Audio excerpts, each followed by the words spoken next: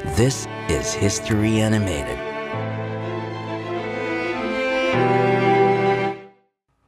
Muhammad Dipatuan Kudarat About 15 years ago, in 1581, after the Spanish arrivals in the Philippines, Muhammad Dipatuan Kudarat, or better known as Sultan Kudarat, was born. He came from the family of Shariff Kabungsuwan, a Muslim missionary who brought Islam to the Philippines between the 13th and the 14th centuries.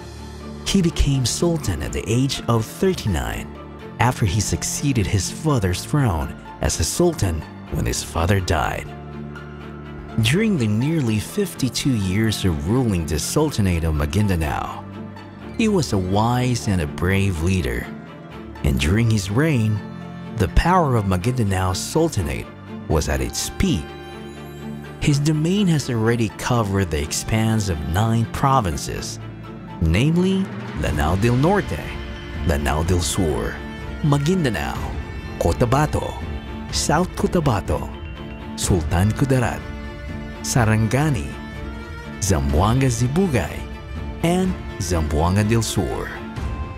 Moreover, Sultan Kudarat also had some ties with the Sulu Sultanate when he became the son-in-law of Sultan Mawalil Wasid after he married the daughter of Sultan Wasid. Sultan Kudarat's fame and influence were not just confined within his domain.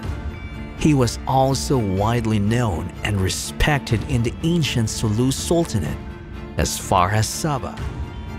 This video is sponsored by Huion, the global leader in creative tablets manufacturing.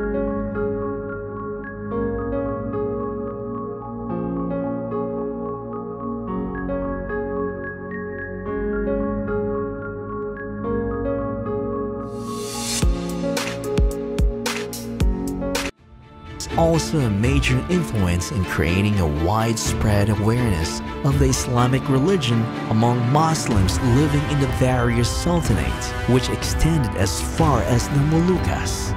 He also had access to the international trades in the Philippines, in which the Sultanate traded with the Dutch and Chinese, where they exchanged their slaves and rice with wares and weapons. Also during his reign, he successfully conquered those Spanish colonists who wanted to invade his land and prevented the spread of Christianity on the island of Mindanao. And at that time, the Philippines was still under Spanish colonization.